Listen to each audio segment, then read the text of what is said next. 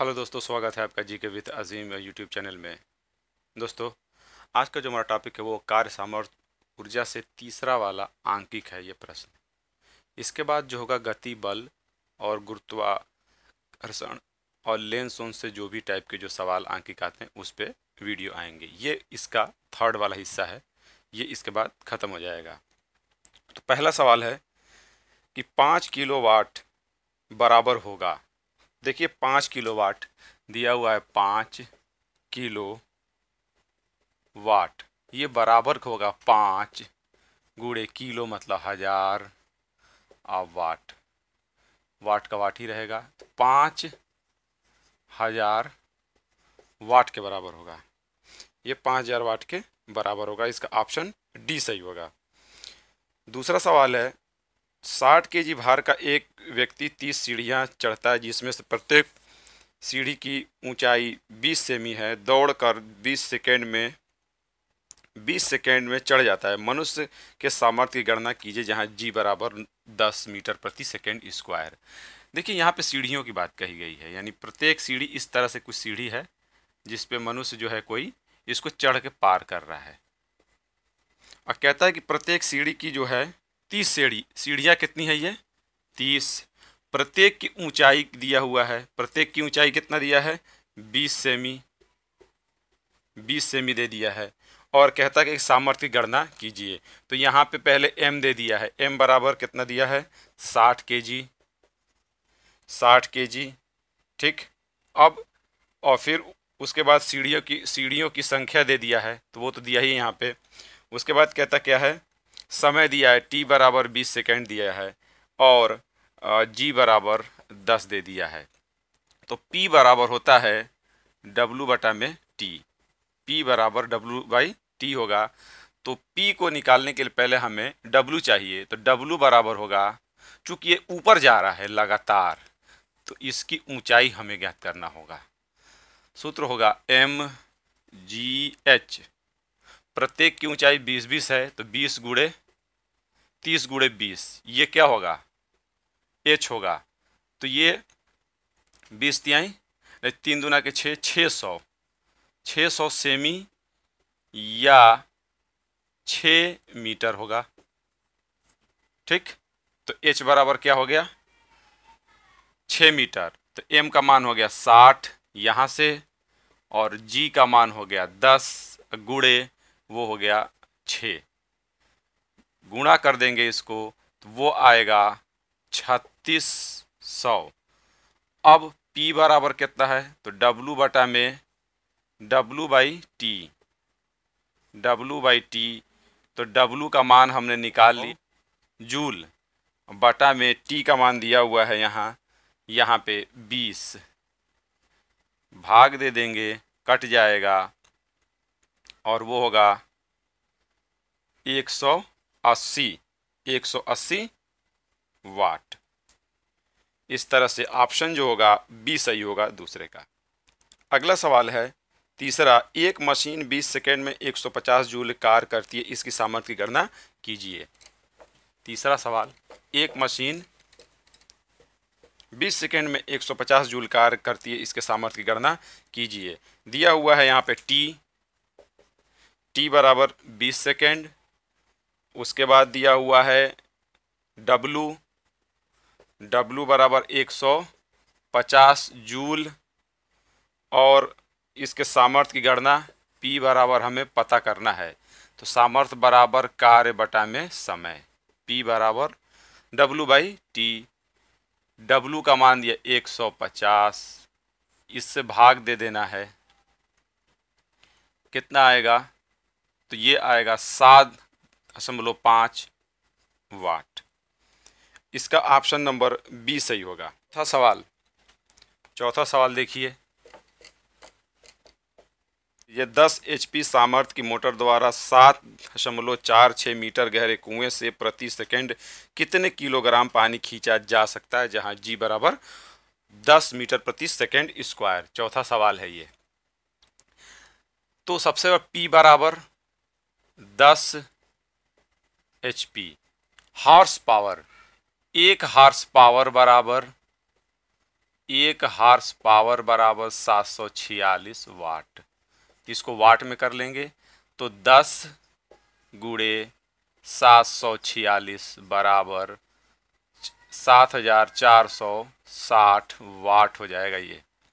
उसके बाद ये हमारा हो गया P बराबर कितना हो गया? सात चार छ ज़ीरो। ये हो गया वाट। कहता क्या है?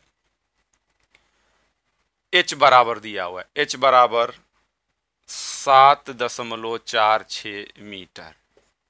जी बराबर दे दिया है दस। प्रति सेकेंड टी बराबर वन। कुएँ से कितना किलोग्राम पानी, यानी एम बराबर। कितना किलोग्राम पानी खींच सकता है? अब हमें बस केवल P बराबर होता है डब्लू बटा में T जहाँ P का मान दे दिया है पी का मान हम रख रख देंगे।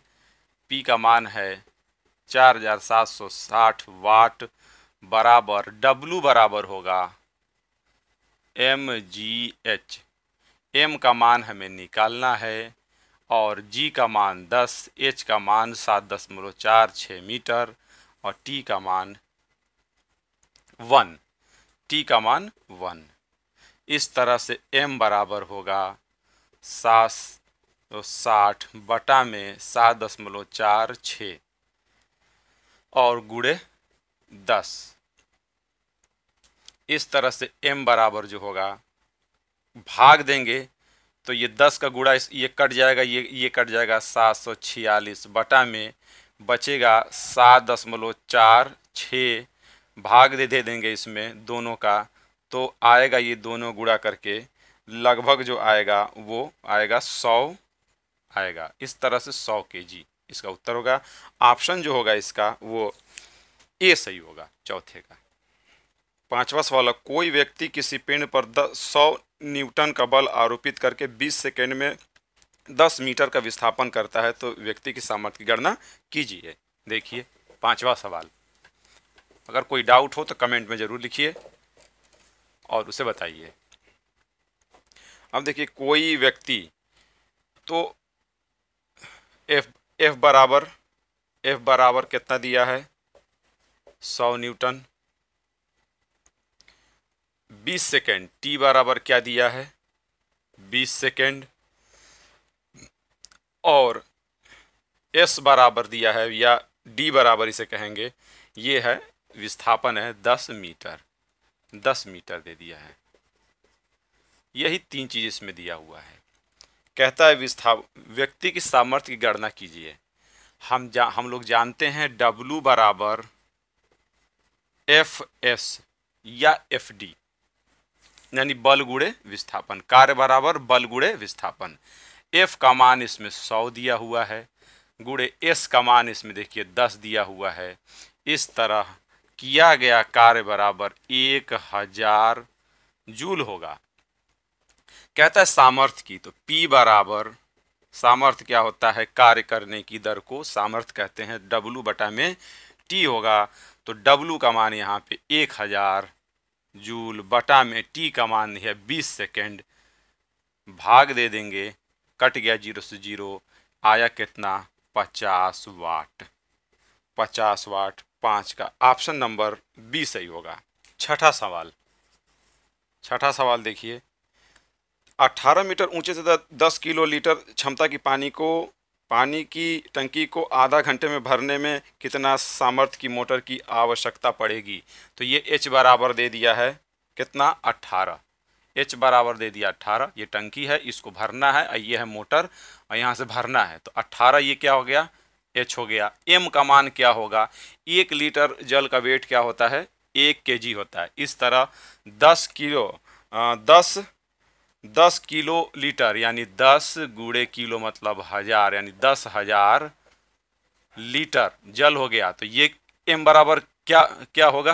तो एम बराबर जो होगा, वो भी क्या हो जाएगा? दस हज़ार किलो हो जाएगा। तो एम बराबर ये एच बराबर अट्ठारह एम बराबर दस दस हज़ार के जी जी बराबर दस टी बराबर तीस मिनट है, आधा घंटा कहा है तो तीस गुड़े एक ये साठ कर देंगे, हो जाएगा अठारह सौ सेकेंड।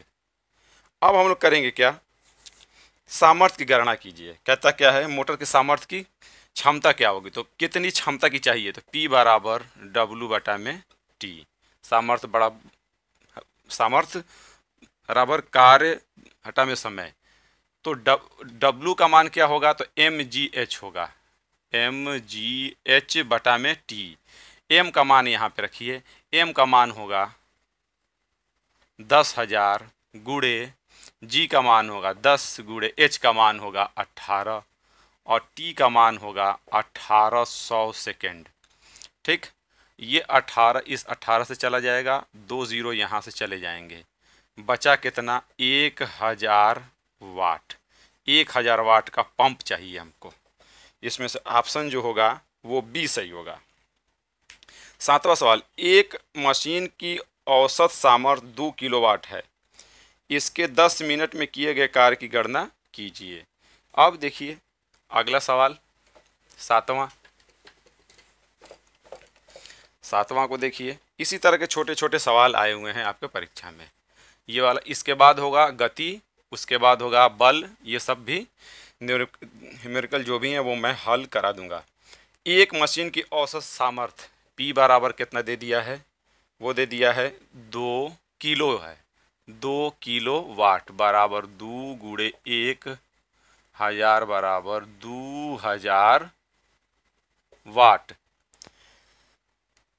आधा हाँ दस मिनट में किए गए कार्य की गणना कीजिए। टी बराबर दस मिनट है तो गुड़े कर देंगे। इसमें कितना? साठ का। ये हो जाएगा छ सौ सेकेंड। छ सौ सेकेंड हो जाएगा। तो किए गए कार्य की गणना कीजिए तो सामर्थ्य बराबर डब्लू बटा में टी या डब्लू बराबर पी गुड़े टी बराबर सामर्थ्य दे दिया है दो हज़ार वाट गुड़े टी का मान दिया है छ सौ बराबर होगा।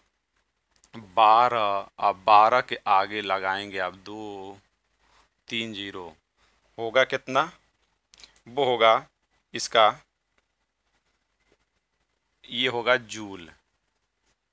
ठीक? ये, और इसका ऑप्शन जो होगा सही, ए सही होगा। सातवें का ए सही होगा।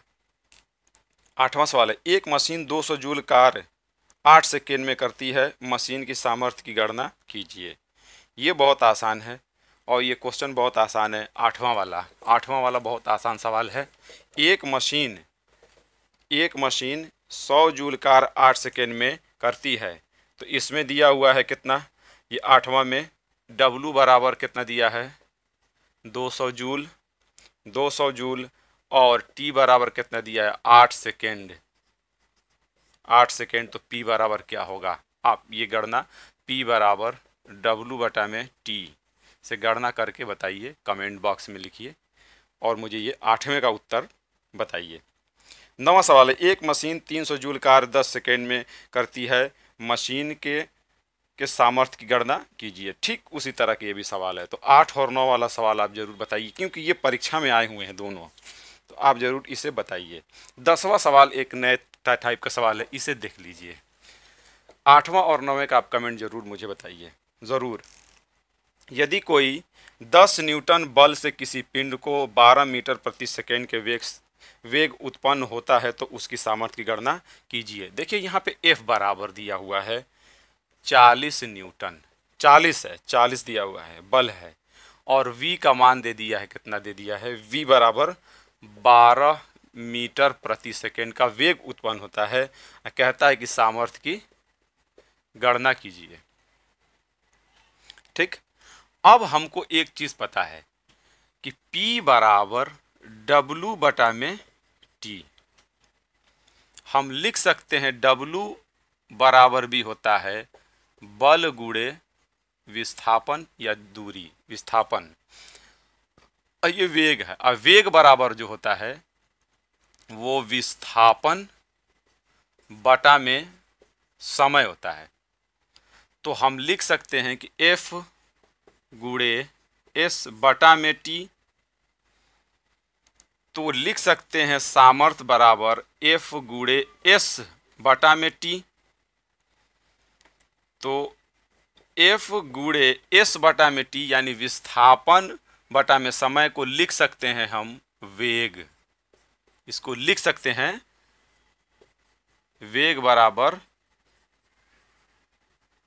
विस्थापन बटा में समय, और यही है ये। ये चीज़ यही है। तो लिख सकते हैं यहाँ v तो सामर्थ्य बराबर होता है, बल गुड़े वेग भी होता है। तो लिख सकते हैं बल 40 और वेग कितना दिया है 12 तो होगा 12 चौक 48 12 चौक 48 480 वाट। इसका ऑप्शन ए सही होगा। इसका ऑप्शन ए सही होगा। तो ये कुछ सामर्थ्य से भी कुछ सवाल जो हैं, आरआरबी में पूछे गए हैं और इस साल पूछने, पूछे जाने की उम्मीद है। हो सकते हैं कुछ टेढ़े सवाल भी आए, इसलिए मैंने इसमें करीब के सवालों को जोड़ा है। आप आठवां और नौवां का जवाब ज़रूर दीजिए। और बाकी सवालों को समझ लीजिए। अगर न समझ में आए तो कमेंट बॉक्स में इसे लिखिए। और ये वीडियो अगर अच्छा लगा हो तो इसे लाइक करिए, लोगों में शेयर करिए और चैनल पर अगर नए हैं तो इसे सब्सक्राइब करिए। तो मिलते हैं फिर हम अगले वीडियो में। अब तक के लिए अलविदा। जय हिंद।